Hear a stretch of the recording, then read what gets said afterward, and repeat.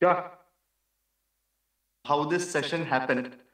Um, so I had posted a video where I uh, claimed factually that uh, you know after all these years, thousands and thousands of years of existence of Ayurveda and about more than a decade of existence of the Ayush ministry, uh, there has not been a single uh, formulation that has been clinically approved or recommended by any clinical societies in India or otherwise globally, which has come from research point of view from Ayurveda.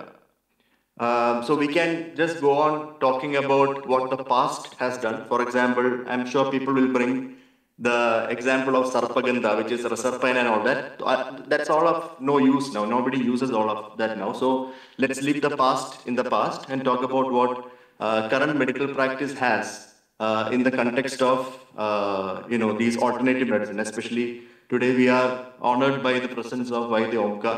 Uh, he is the person who uh, put forth the suggestion that we should have a conversation because he felt that we have some deficiency in looking from both sides, you know, from a medical science perspective and also from an alternative medicine perspective. So I just would like to, uh, you know, uh, give the mic to Vaidya Omkar if he wants to start off with uh, a few uh, introductory lines for this session. Yeah. Uh, thank you very much, Dr. Abby, and thank you very much, uh, Unitary SEP. I'm really honored and pleasured for giving me the opportunity to put forth my views, or rather, the views of Ayurveda and how uh, we all can help in bringing wellness in the community. Okay, uh, I would like to first.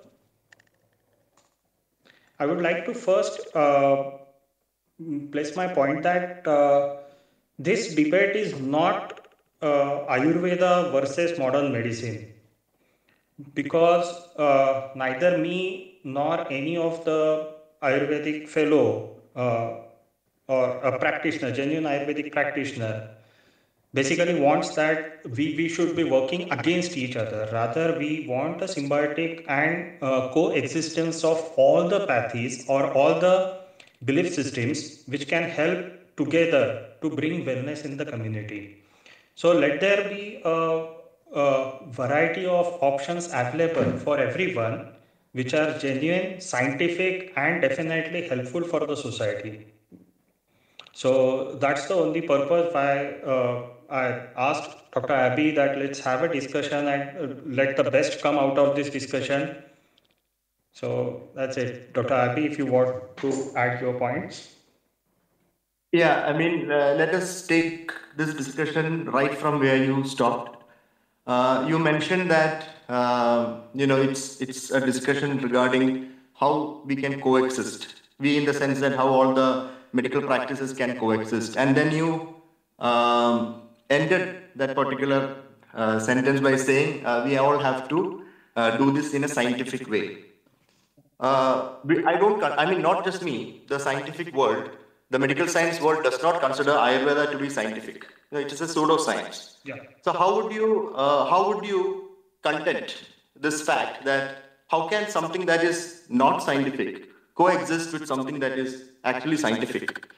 You know, what whatever has been said and done for the past 2,000, 3,000 years or whatever, Ayurveda has remained a pseudoscientific practice without any actually clinically beneficial outcomes within the patient community or in the preventive medicine community or in the preventive medicine aspects.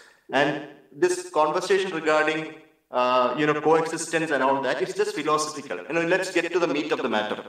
It's just philosophy. You know, you, you, we, we said that let us all coexist in peace and harmony, and you can actually see that people are getting bombed right, left, right, left, and center everywhere every day.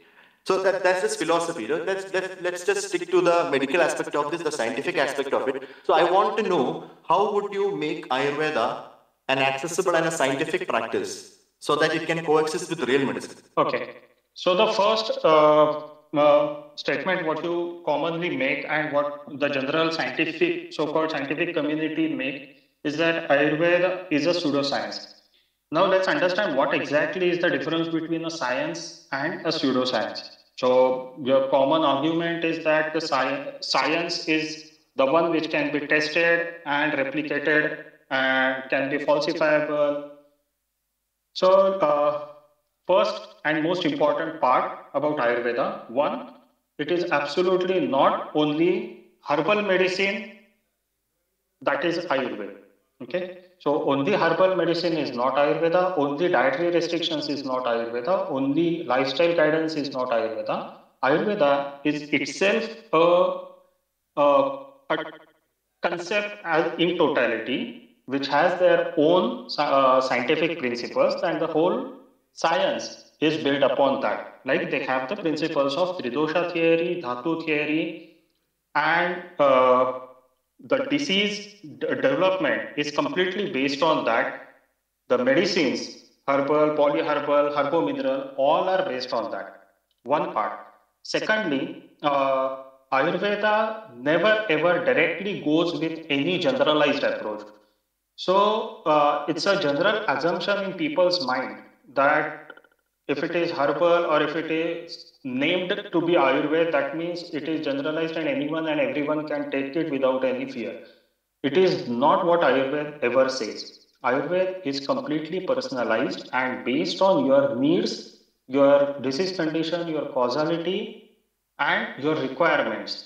The treatment or management for that particular diseases uh, starts right from removal of the causative factors then ahara, that means diet, then lifestyle, and if at all required, the medication. So this is the overall uh, of Ayurvedic treatment.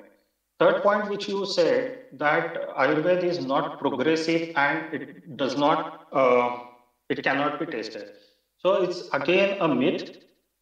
If you look at the history of Ayurveda, it started off 2000 years back and there has been constant addition or deletion of some of the principles which are useful are added and some of the principles which are not relevant for that particular time are removed. So the research and their procedures were added to Ayurveda, were adopted by Ayurveda somewhere close to 1000 or 2000 years back.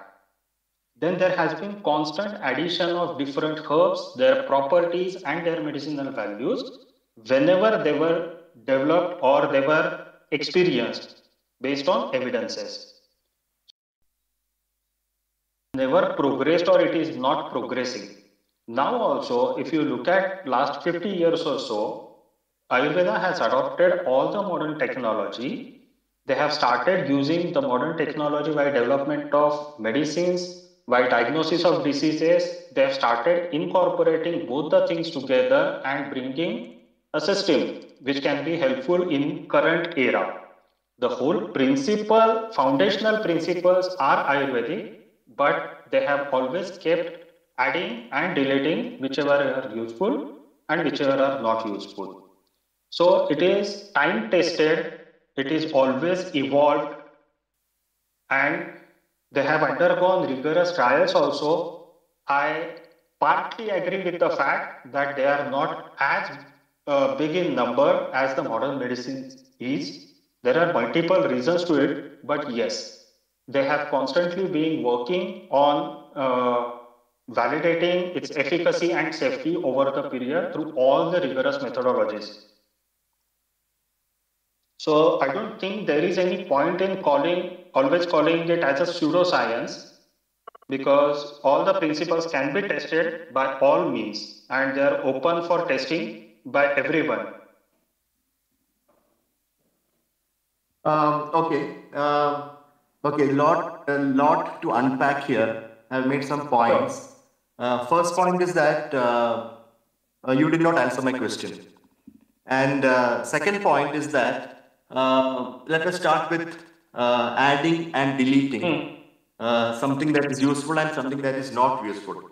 Can you please tell me something in Ayurvedic practice or in the principles which has been added or deleted in the last thousand or two thousand years so that it is now clinically applicable and we are using it for our patients. Yeah. Just one example. Yeah, I, have answered that actually.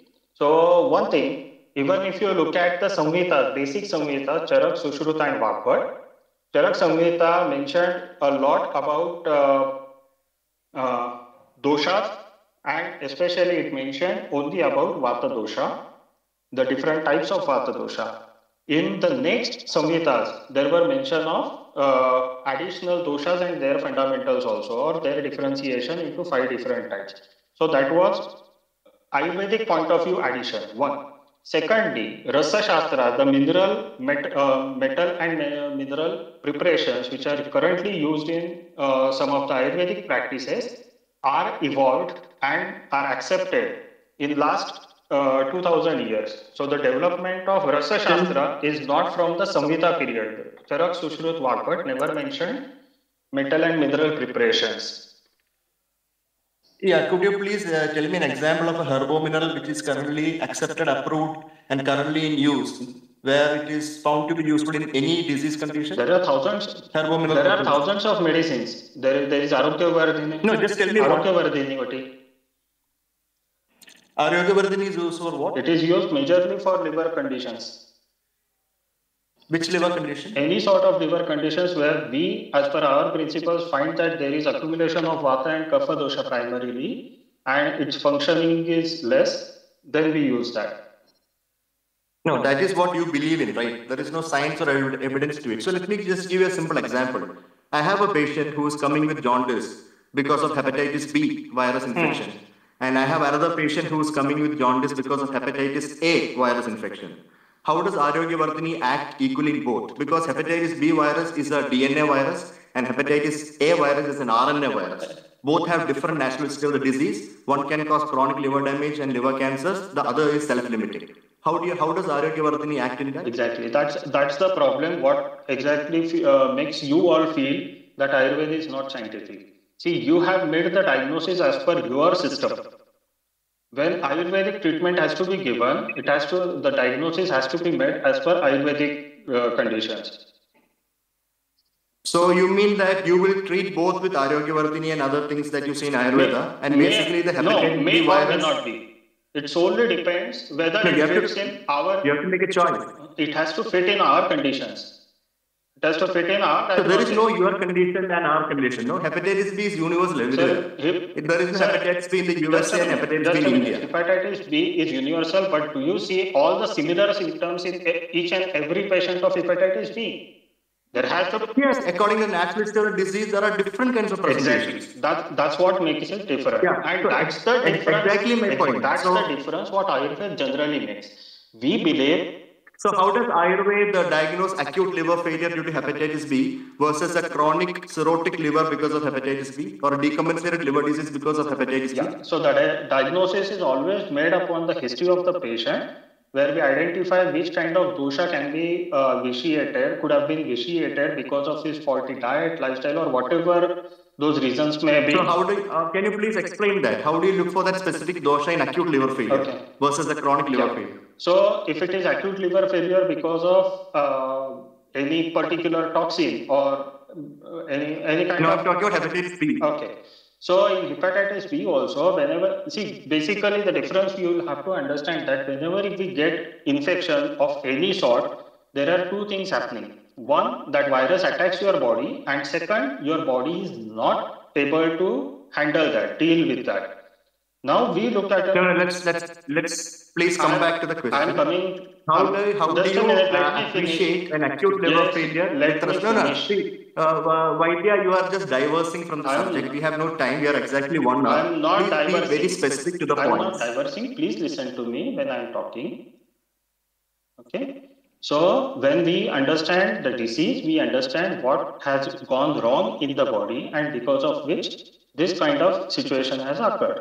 So we evaluate the patient based on the history, like certain uh, lifestyle or dietary things can vitiate your vata dosha, certain things can vitiate your pitta, certain things can vitiate your kapha. Based on that, we make No, I'm a talking about hepatitis Come on, sir. What I'm saying, please understand.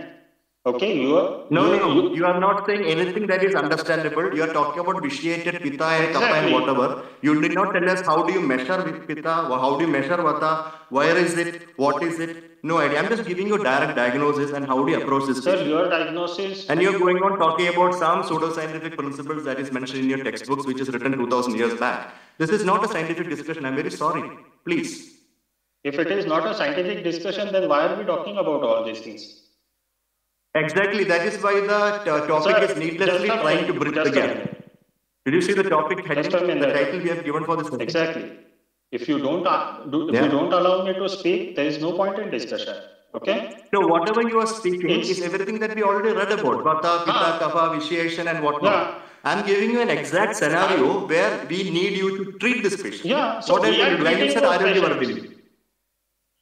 You are Yeah, treating but let- those okay, fine. patients. Let's let's just Yeah, there are thousands let's of patients. go directly There are thousands of patients who are being uh, treated by that, and they are getting benefited. Part, part of them are getting Yeah, benefited. so how does Arogya Vardhini act in hepatitis B? How does Arogya Vardhini act in hepatitis B? What is the mechanism of action? It's pure science question. Through which mechanism you want? No, you tell me, you have to know, no? Ah, but, mechanism of action in hepatitis B related jaundice. so from Ayurvedic point of view, all the ingredients, if you if you are interested in listening to Ayurvedic point of view, I'm tell I'll tell you that. No, you, let's, let's talk about the ingredients. Yeah, there are many ingredients. One of the ingredients, major ingredients is kutki, which is Picrorhiza kurroa. Then there are Chitrakmula, plumbago. There is Shilajit. There is neem leaf. So Yeah, so how do they act on hepatitis B virus? their major function is to stimulate liver function to uh, uh, to what do you say? Uh, let the pitta flow properly the bile flow properly and improve its concentration quality and quantity so that it stimulates your liver to deal with the infection probably. I am not sure. There are no So- studies done to my understanding which can talk in your language how it works on chila, uh, hepatitis B. Yeah, so basically you have no mechanism of action. No, there that is right? mechanism of action, but we have not studied that. Yeah, if you have not studied it, then how do you have a mechanism of action? Sir, there were there is mechanism of action as per Ayurveda. Why do you want to prove Yeah, so that action is not studied. That is what you believe in. You have not you have not actually given me anything to prove that it acts on the hepatitis B virus. You just said that pitta will flow and the concentration will increase. Is that how you treat hepatitis B? Yeah. And I mean, really, I'm quite scared for the patients who go for hepatitis B treatment via Ayurveda. Do you know what happens if you don't treat acute liver failure because of hepatitis B? Or a, a cirrhotic liver because of hepatitis B? Patients can land in something known as decompensation. Absolutely. They come with blood vomiting, have ascites, and they can go into encephalopathy and Just a die. minute, sir. And you think Ayurveda can prevent all that? I'm not telling, saying that. See, see in the, in the beginning, you are the one who said no, Ayurveda is given for uh, liver disease. it is given for liver disease. You have bring, uh, you have brought the point of acute liver failure. I'm constantly telling you, Yeah. it is completely based on the patient's situation and condition whether we want to give it or not. It is absolutely not a one-to-one situation- situation uh, association. My situation, no, no, see, it's, my situation is very clear. I'm talking about acute liver failure because of hepatitis B virus infection. There are different types of acute liver failure conditions. People can have acute liver failure because of hepatitis A also. So, fi- Right. because of any drugs also. Right. So, so how do you approach?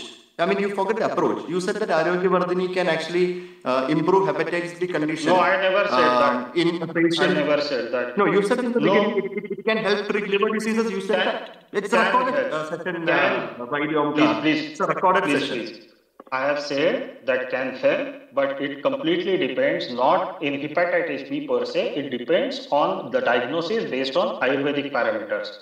I have not created any So if a hepatitis B patient comes to you and that you know, I mean, see what what we know is that what medical science has found out that is that hepatitis B vi- virus infection has to be treated with antivirals. Yeah. So we have tenofovir, alafenamide, we have entecavir, we have some very new drugs in the pipeline which can help clear the virus, protect the liver, prevent further damage, and help pa- patients uh, from developing a lot of complications, right? And in your case, you're just saying that you know you'll just look at diet, you'll just look at the uh, you know the mindfulness, and you'll just look at vata, pitta, kapha, which you don't know how to even measure, and you have not studied. You have no mechanism of action also. And uh, I'm not sure how you're going to treat these patients when you say that you have treated thousands of them. See, basically, please understand, we never treat any acute liver condition or any acute condition unless we have the evidence to treat it. If we have the evidence or we have the confidence that we can treat it, then only we take up the patient. Otherwise, it is always that you we first advise the patient that please go ahead with whatever modern medicines you are taking. You can even ask your modern medicine doctor whether uh, he can continue with these Ayurvedic medicines or not. If he does not agree, then kindly just stick to your diet and lifestyle, what we are saying, and follow what we are doing. If they agree, we can work um, simultaneously in the integrative manner to help the patient to heal better. No, no. So I, am confused. Yeah. I'm confused here. You are saying that Ayurveda is not pseudo-scientific. Absolutely It not. is a very scientific practice. Yeah. So, so why do you want to go and ask the modern medicine practitioner for uh, any any any need to do anything for the patient? Sir, you can take care of the patient uh, from the first Absolutely. Time, we can take, but we do if we do not have the evidence or confidence. That's what my statement was there are certain doctors or uh, Ayurveda practitioners, Vaidyas, who have the confidence and uh, experience also in treating these kind of patients, they do take it. But it is not a generalized practice. In Ayurveda also, there are certain conditions where they have clearly mentioned that Tatra Dhanvantariyanam Adhikaraha means the surgeon or the uh, relevant expert should be looked into uh, this patient and it is beyond your capacity. It is also mentioned clearly in Ayurveda. So it is not that each and every um, Ayurvedic doctor would take each and every patient. Okay. Let's let's uh, take five seconds. So, let's yeah. take five seconds to read the title of our space and uh, go back to the point where we started. That uh, Ayurveda is basically trying to uh, needlessly bridge the gap between science and Ayurveda. So if if Ayurveda isn't pseudo scientific, uh, how how does it uh, have the proofs or how does it go ahead with the treatment if it even doesn't have a mechanism? Yeah, I'll, I'll tell you how it can help. I'll tell you one example. There are multiple studies. If you go on Cochrane Library also, there are two major reviews on Cochrane where it has, uh, it has shown that how integrative medicine with Ayurveda in schizophrenia and diabetes are, have proven useful. Okay partially useful, the major studies, long run studies need to be done. That's what their inference is. One study was done, uh, especially on turmeric and giloy. It was a study done in uh, uh, TB medicines. Patients receiving anti-tubercular medicines. It was it was a study done on around 400 patients. Uh, it was blinded study, and uh, two groups are there: control group and the treatment group. For one group, anti-tubercular medicines and Ayurvedic medicines, turmeric and guduchi, were given to one group and the second group received only anti-tubercular medicines. It was observed that in uh, patients receiving uh, both the medicines, Ayurvedic and anti-tubercular medicines, the incidence of uh, hepatotoxicity was way lesser and it did not uh, hamper the efficacy of anti-tubercular medicines in negative way. So this is one of the examples where Ayurveda and uh, this modern medicine can work together where we know that there are certain limitations to modern medicines and it can be bridged by the inclusion of Ayurveda or any other uh, pathy, I would say. Whichever is good and okay. integrated. Yeah. So I mean, uh, coming back to uh, so this is a lot of word salad because when you are, when we ask you a single question, you are going you are answering it with uh, so many unrelated things. But I just want to uh, make make a point about your Cochrane review mm. about diabetes. Mm. I just looked it up, and what is exactly written here is that due to methodological deficiencies and small sample sizes, small, small sample sizes, we were unable to draw any definitive conclusions regarding efficacy of herbal medicines. So what you just said now is absolute, you know, you are just lying. There is no evidence of any use of any herbal medicines in diabetes. This is Cochrane review and I've, opened it in front of me. Right, so that is wrong. And regarding your Giloy, that is absolute nonsense because there is no study which proves that Giloy is useful for any liver disease condition or any other disease condition for say, per se, exact, especially in tuberculosis. Then we have shown that with the use of Giloy, about more than 200 cases of patients with severe autoimmune hepatitis has been reported from India alone. You know, it's, it's just, I mean, the way that confidently you people lie to the community regarding your pseudoscientific practices is applaudable. And I mean, I must give it to you. See, but I understand why you have to do this because it's your bread and butter. But let's be very, very, very uh, truthful here. There is absolutely nothing that Ayurveda can offer in healthcare. No, absolutely nothing. And you have not proven it also. I mean, we asked you, I mean, I asked you a simple question about a mechanism of action of an Ayurvedic drug, Ayurveda and you just told us any all the contents in it. You asked me and about nothing more than that. No, I did not ask. I just asked how does the ingredients work as a mechanism of action? And I have told you that. You, you still have time to, to answer that. You still have time to answer that. You said kutki and you said uh, so many other things are neem and something and I there. told you How does it act in hepatitis B virus infection? No, you did not tell me. I have told you as per Ayurveda. You just said it helps the pitta flow. Yeah. The pitta flowing does not treat hepatitis B, sir. People will die. Sir, this is a recorded session and people can always go back and listen to this. Definitely. I am not denying with whatever statements Of I have course. made. And first, Of course. I mean, see, let us let us just uh, bring a clean slate here, okay? Clean slate. You said that, and this is what every other Ayurveda says, that there are deficiencies in modern medicine practice. So let us fill those deficiencies with integrative medicine. See, the whole aspect is that modern medicine never says, or medical science never says that it is uh, complete. It never. It is deficient. And the deficiencies will improve with further testing and further experimentation. Then old things will get thrown out the window and new things will come. That is how we bridge deficiencies, not by using a pseudoscientific practice like Ayurveda, which to fill that gap. See, there is no role of Ayurveda in management of any acute or chronic disease. You just mentioned a few few few uh, minutes before that we won't treat any acute disease. Come on, the government of India and the Ministry of Ayush gave treatment guidelines for severe COVID. How do you explain that? How does any herb work in COVID? Simple question. it, Yeah, please tell. So first, first and most important part is that I've been constantly telling you that how modern medicine looks towards a disease is completely different than how Ayurveda looks towards a disease. Are Exactly, that is science and pseudoscience. you We are call beyond it anything, Let's go further. it, it hardly matters to me. Okay. No, no, it's, it's not what matters to you. Exactly. It is what it is. It is a, Whatever it's- you this say. is not an this is not an uh, debate or Okay. argument. No, this is a fact. You can just look on the web anywhere, any scientific, even even your Ayurvedic practitioners who have stopped practicing Ayurveda, stopped practicing it because it is a pseudoscience because they could not get any benefits in patients and they were just deceiving them. So let us not Sir- go there. Sir, Let's sir, go beyond more that. than 10% of modern physicians quit their practice. Okay, this is a fact. Okay? The- Where? Yeah? Which which which which uh, where did you get this information from? Look at all the pharmacovigilance uh, uh, uh. Pharmacovigilance is for drug adverse events. Yeah, but that it is, is not, not for uh, practice. looking at uh, That is not a uh, practice. doctor dropout. That is doctor, not Do, do, do, you- do you know what do you know what pharmacovigilance is? I've worked there as a drug safety physician for two years. Yeah. So why does a pharmacovigilance has anything to do with doctors dropping out of practice? They are not practicing.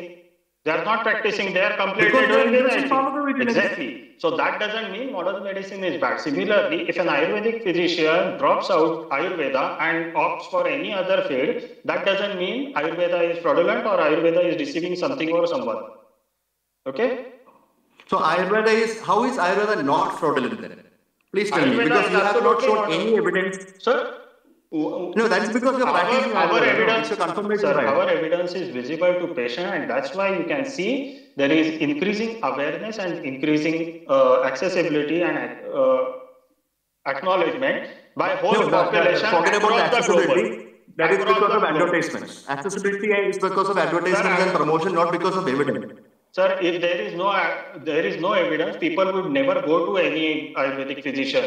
If they find that I am deceiving them or I'm causing any kind of harm to them, they will never come to me. Okay. Still, if people So are you don't know what is happening in your practice. Okay, so let's not go no, I'm not going personally. Let us not I'm go there. giving you a random Okay. example. That- this- if Ayurveda is not working, This is supposed to be Ayurveda a scientific this discussion. is supposed to be a scientific, Right. but So you are going personal. That's why I'm giving you personal. Let us let, I think you only started talking about your uh, practice and you're telling I'm me not- I'm going personally. I'm not- I'm telling you not to Sir, go I'm personally. not talking my example. I am saying that I am giving an example that if any doctor is not treating the patient in the right way or not giving the result or causing any kind of harmful effect in any pathy, the patient will never go to him. If they feel that What is a pathy? Huh? Pathy means any What is system of pathy? medicine. Okay. No, that is not what pathy means. This- Don't get into the verbal jargons. Okay. I'm No, see, because it is scientific discussion, you have to use the right terms for So the let it be importance. any, any People should understand any everything. There are a lot medical of people system. listening to this conversation. Yes, it is any medical system, what I'm saying. It is any healthcare system. No, which pathy is- means, please, please check the dictionary. Pathy means denoting feelings, okay? It is not any medical system. Fine, leave it. I agree. Right, so that is wrong. So this, the, the, the term of allopathy and all that is completely wrong. It is medical science and it is Ayurvedic I've never used the word allopathy. I have been using a modern system Ah. of medicine. I duly respect that. I duly respect all other systems of medicines. See, it's not about respect, Yeah. right? It's about evidence. Yeah. So you have not provided any evidence.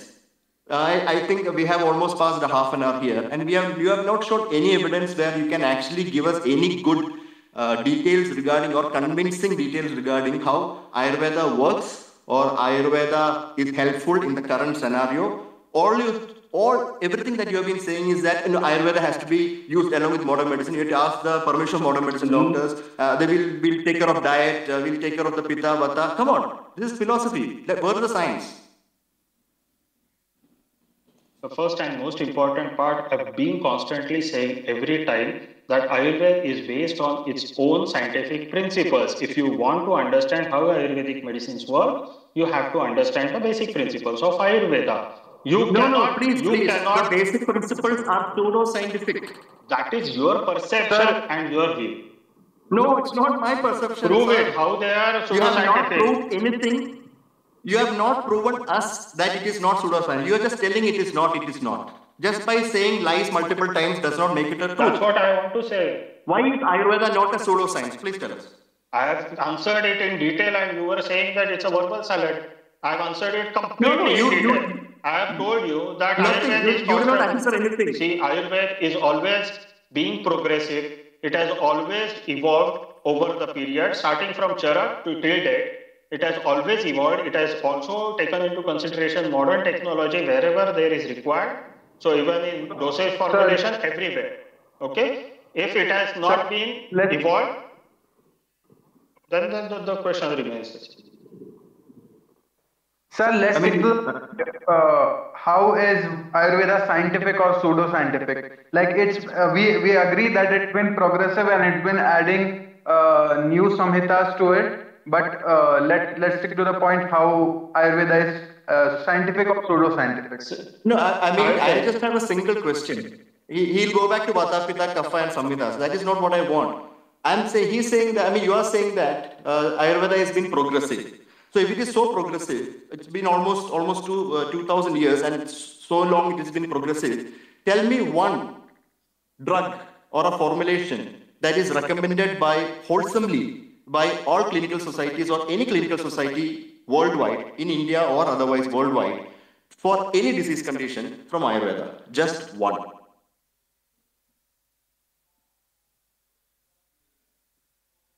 You mean recommendation or recommended means or approved means? Approval recommendation for any disease condition as per clinical guidelines where you said that Ayurveda can work with modern medicine. Where is it recommended? Which clinical guideline? Just one drug I need. Just one herbal formulation or one traditional formulation.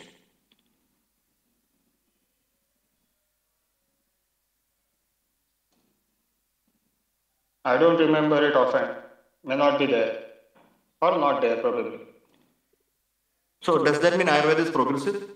It is progressive. I, I'm accepting. So then why are we not seeing results? That's what I'm saying. In the first statement itself, I've agreed that there has been some lacuna from Ayurvedic point of view, Ayurvedic uh, physician point of view, that we did not conduct so many researches or full-length researches. There are multiple reasons to that. And that's why we are not exactly. Exactly. So why are you not conducting multiple researches on Ayurveda when you have 3,000 crore rupees from the Ayush Sir, Ministry that- available every Sir, year? 3,000 crore rupees is this year's budget, which was increased to uh, 20% this year. Okay. Okay, make it 50 crore. Okay. Make it 50 So if it is 50 Fine. crore, if it is 50 crores, how do you expect in 50 crores a full length drug to be developed? Okay. One. It's Then- not about developing, no. You already have your drugs Yeah. with you. So- you said you have so drugs if- like Arogyavardhini, Vilwadi, and all. to, to get it at, Nothing to develop to get it approved from Sir, the- there are two reasons i'm telling you one first important reason is whenever you want to develop a drug you have to pass it through all sorts of clinical trials you, we, we all are aware of that phase 1 phase 2 phase 3 phase 4 it requires whole lot of amount whole lot of funding that is there government cannot fund it completely and private uh, private companies would not be interested in this because all the ayurvedic literature comes under public domain so they cannot patent that medicine and that's why even the industries are not interested in uh, you, uh, developing that drug further if they can sell the No, this is utter nonsense. This is Come on, fact. you're, you're misleading the audience This is here. the fact. You're misleading the This is audience the here. fact. No, no, it is not. Yes. the. Come on. This is not. the This is This absolutely is not the fact. right answer. You're misleading the audience. absolutely not You're saying that you have no money and nobody's interested in Ayurveda. Come on. People Can you are see the amount of Ayurvedic industry marketing going on I'm on not here? saying people are not interested. I'm saying no, no company is interested in conducting all these trials and spending so much of money if they are not getting the patent out of it. It's not about patent. Yeah. Forget about patent. It's, it's about a drug that can be approved and recommended for any disease condition. We started with that question. Yeah. You are going somewhere No, else. there are two, two, three drugs which are developed by Ayush Ministry. However, their Ah, studies, tell, tell us. Yeah, very good. Come Uh, on. Let us- However, let their us studies are not that great. They need to be studied further, and even all the Ayurvedic physicians would agree to that. And it needs to be studied further. So you mean to say we need to wait another what, thousand, two thousand years? No. Why? They need to be Because we studied waited so long and we still don't have anything. We have everything. Not every time you need to have we a have- drug which is approved by US FDA. The only thing what No, let us not go to US FDA. We are in India Ah. only. We, we can have our CDSO and all, you know, looking at that. Let us not, uh, See you know, uh, take the name of US FDA to, you know, uh, Okay. In a different context. Okay. So, so let's let's let me just clear this air for the people who are listening here, the audience. I mean, this is just for them, not for uh, Vaidya. Uh, the reason why Ayurvedic drugs or Ayurvedic formulation cannot be tested is because they are all prepared on the basis of Ayurvedic principles known as Tridosha theory. Um, and these Tridosha theory is basically your old obsolete humoral theory known as this Kapha, Pitta, and Vata, and all that. And, uh, you, and these are just philosophical theories. You cannot test it. You cannot make a hypothesis out of it. You cannot measure it, and you cannot do. Uh, uh, you cannot actually find out any outcomes from these. So basically, the whole premise comes back to that initial saying that because Ayurveda is pseudoscientific, you cannot test it. And when you cannot test it, you will obviously not get any results or outcomes. Which is why, when I asked Vaidya the question that tell me one formulation that has come out of Ayurvedic research since the last 2000 years, he could not even say a single drug name. So this, this confirms the fact that Ayurveda is pseudoscientific, but Vaidya will not uh, agree with me because it is his practice and nobody is going to say that I'm a pseudoscientist. Right, so let us just leave it that. That's a personal opinion, but this is the fact.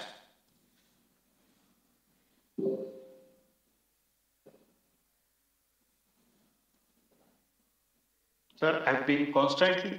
Okay, leave it. Next, if you have any other question.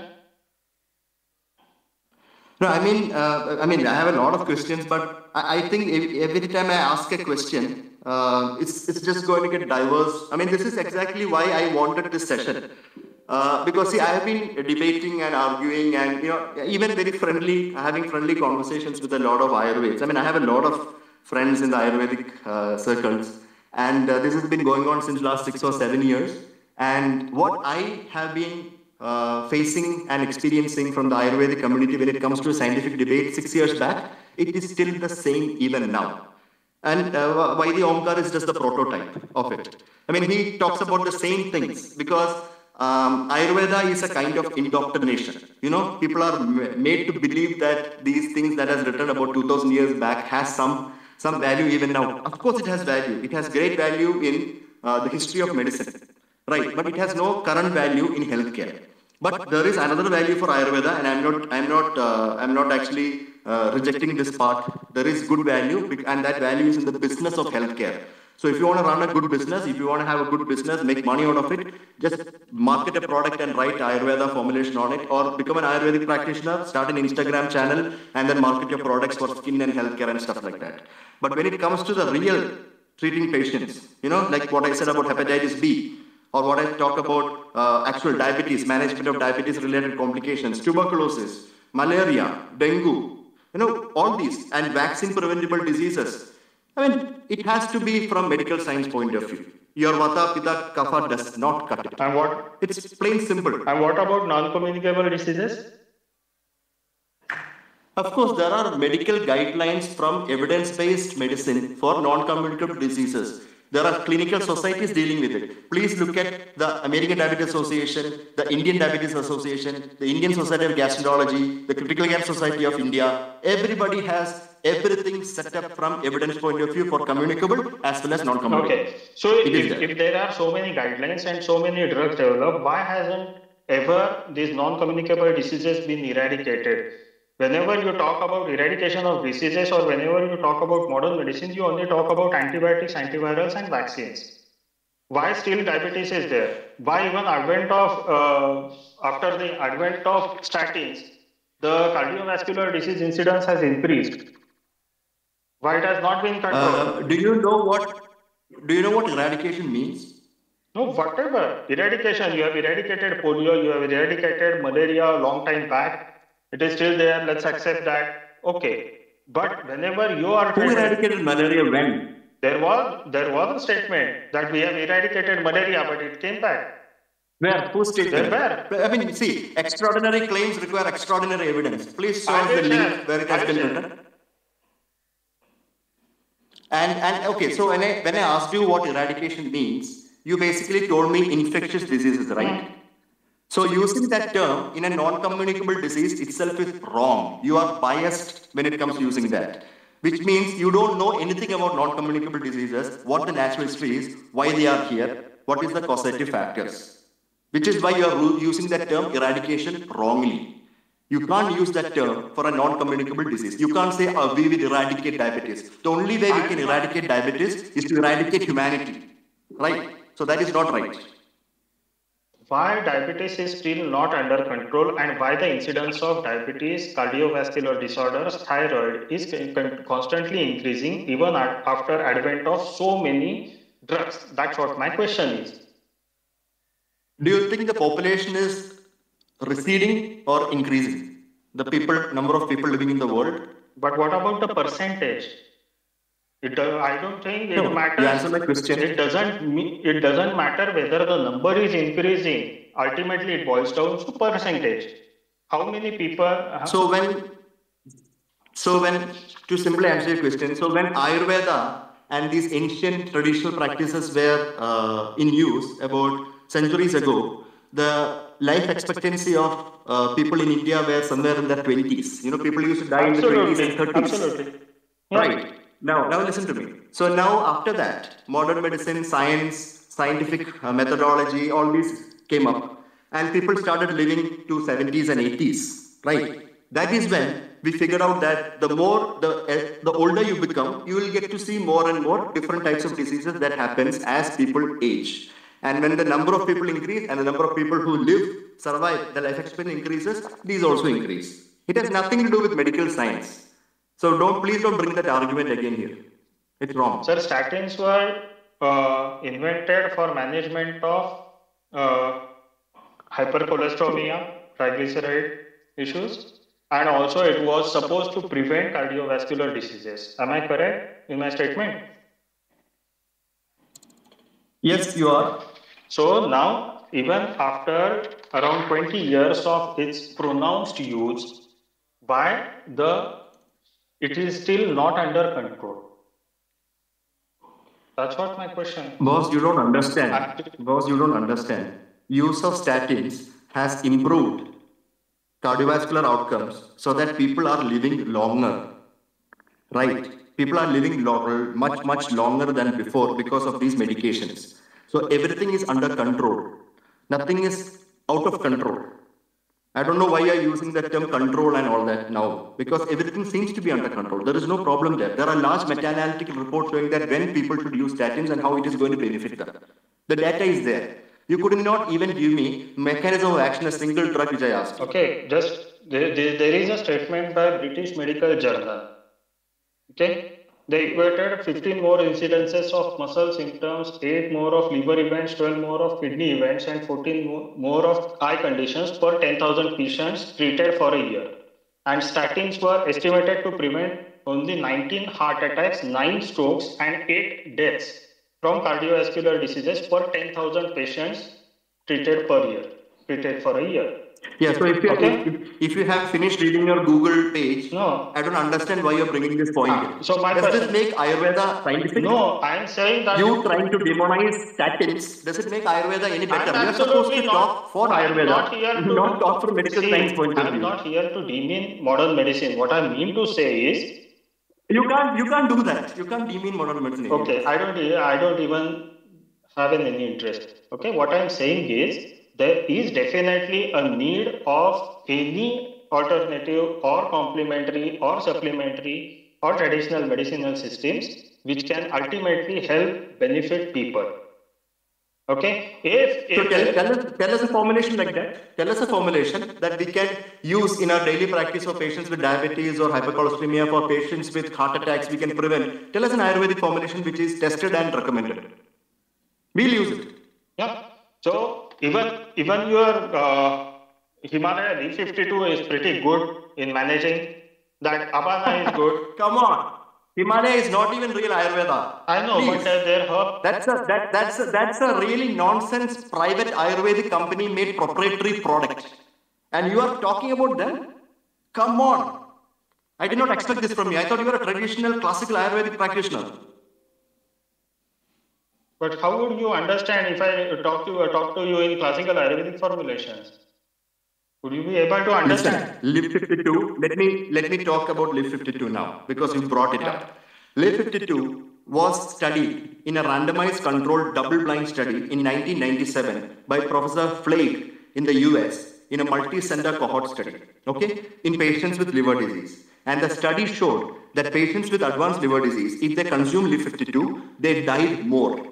And in patients who did not have advanced liver disease, Liv 52 did not do anything. It was like placebo only. But because they were killing more patients with Liv 52 in patients with cirrhosis, the US FDA banned the product in the US and now it is known as liver care there, where there are more and more lesser number of ingredients being used than in India. So that is Liv 52 for you. And everything from Liv 52, the company that has published and presented, is from the manufacturer themselves. I have written ex- extra exhaustively on this product, so let us not talk about Liv 52 ever again. If you have some other formulation that you can tell us, which we can use for diabetes or prevention of heart disease or strokes, please tell us. For diabetes, there is one Dhatri Nisha Yog, which is Amalaki, I means Terminalia chebula and Haridra. It's a simple two herb formulation which can be used. So how does it work in diabetes? And where are the studies of it? Can I can you please uh, tell us the link so that we can check it right now? I will just Mechanism of action, efficacy and safety. That's what we look at, right? When you have a drug. I mean, you have worked in pharmacovigilance and drug industry, so you know this. So where are the studies on efficacy and safety and pharmacovigilance data on this particular formulation that you have mentioned now? Okay, there are uh, there are two three studies I can say. I will share it to you if you want. No, no, you can tell us right now. Who's the author? The first author? What is the formulation? Please tell me. I can check it for you. Dhatri Nishavati.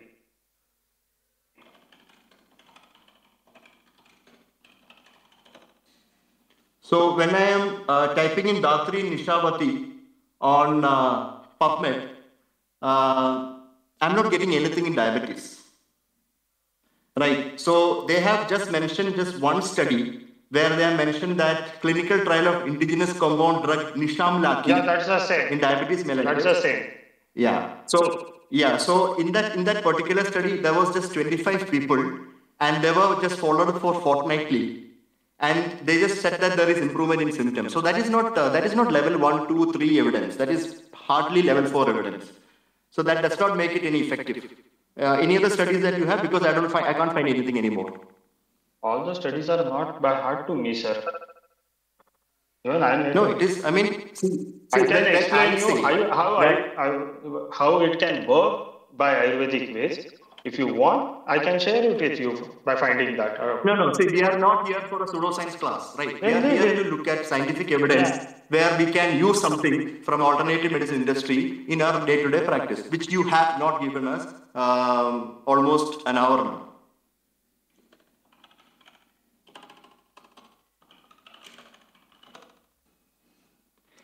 See, ultimately, the whole discussion points down to uh, am I audible? Yeah. Yes, you are. Yes, you are. Yeah. yeah. So ultimately, the discussion again points down to we don't have any drug since last 2000 years which can be even used for a simple thing like fever from Ayurveda. Forget a disease.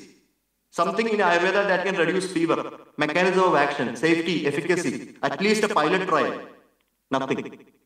And we are talking about treating patients with liver disease in Ayurveda. Can you imagine this just imagine how many people are getting misled because of your promotions and uh, your uh, advertisements and whatnot.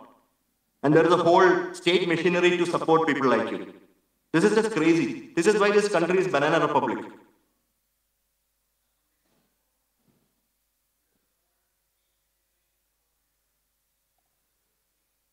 We are moving towards the closure of our space.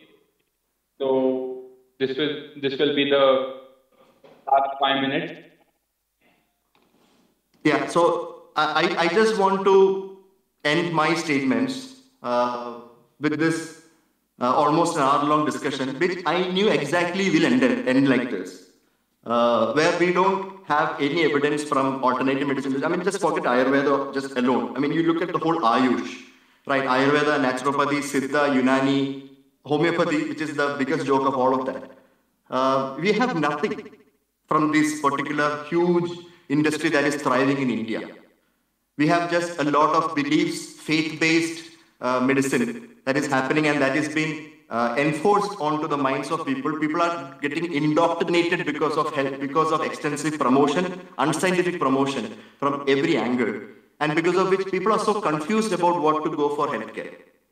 And uh, I mean, not I mean nothing personal with uh, to uh, Vaidya Omkar, but a lot of Vaidyas, you know, on the social media are misleading people with with things that don't work. You know, for example, he just spoke about Giloy. You know, if somebody does not know about Giloy, they will go and have Giloy and land up in trouble because we have studied Giloy in our papers and it's a nationwide paper which included 13 hospitals which showed that Giloy can harm the liver and cause severe autoimmune hepatitis. It can lead to death in 15% of patients. And has, there is no proof that Giloy is useful for anything. And it has been promoted for COVID and now a new pandemic will come, it will be there also, no doubt about it. Right. So these things need to be known. See, the whole aspect of doing this particular discussion is that people must be informed about right healthcare choices and it is not alternative medicine. See, alternative medicine that works is called medicine. Very famous statement, right? And what we have is scientific medicine. Of course, scientific medicine has its uh, lot of deficiencies, like Vaidya Omkar said, but it is improving. It is improving. It corrects itself. It, it, it accepts errors, unlike Ayurveda and other, other streams, where set practices and beliefs are taken from 2000 years and still practiced now, uh, harming the people. So what I would like to end with this is that please follow evidence-based medicine. Please look at scientific uh, practices where there is evidence that you can you can you yourself can look at. You know, it, it's so easy. Medical science is so easy because the evidence is there. I mean, you want to know the side effects of a drug, you just have to put in Google and you'll get it. But if you want to look at a side effect of an Ayurvedic formulation, on the formulation, it will be written safe to consume. Natural, herbal, and safe. So this is the kind of differences that we live with. So please be well informed regarding your health choices and always appreciate evidence-based practices in healthcare because that is what is going to be beneficial for you. So these are my words. If somebody wants to add to this, please do.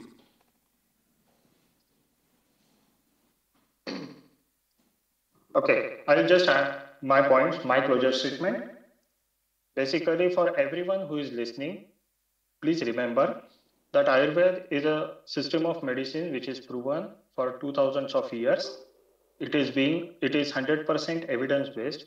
If you feel that whatever Ayurvedic practitioners are doing is good for you, please go ahead.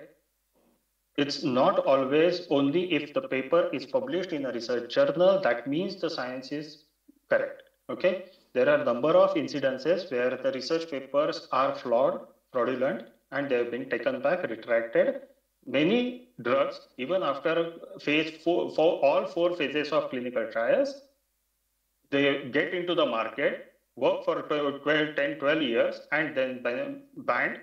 But over those 10, 12 years, whatever damage they cause to your body, that remains there for generations. Okay, so if you feel that you can trust the tradition and evidences of people who have been taking the medicines for so long, please go ahead, make your own choice. There is no compulsion that you should go to allopathy or uh, sorry, modern medicine or Ayurveda or homeopathy, whichever path, system of medicine you feel comfortable with, please go ahead. That's it. You can end this now. Um, yeah, no, no, we cannot end this now because you just fear mongered all the audience here on something known as chemophobia. Uh, the Omkar, I will not let you do that. What did I do? Right, I will not let you do that. So what you have just said now, Ayurveda is an evidence-based practice. You have not proven anything. It is not an evidence-based practice, number one. Number two, there are modern medicines that have been evidence-based and has been used since decades and decades without any issues. Everything is chemicals. Do you think that Ayurvedic herbals are uh, natural and there are uh, there are nothing uh, chemical in it? It's all plant chemicals that can harm. So everything is chemicals. There is nothing known as modern medicines that are synthetic and no, and they are only ones that are chemical. This fear mongering has to stop. This is chemophobia. You you can't just end a session by fear mongering the audience here. I will not allow it. And whatever you have said is, I repeat, complete complete lies and deceit. You cannot fraud people like this with your statements. I'm, I'm ending the session now. Uh, let us close. Thank you. Thank you, everyone. Thank you, everyone, for coming. And thanks, Vaidya Omkar and Liver Doctor, for hosting this session. Uh, thanks, everyone. Have a great day.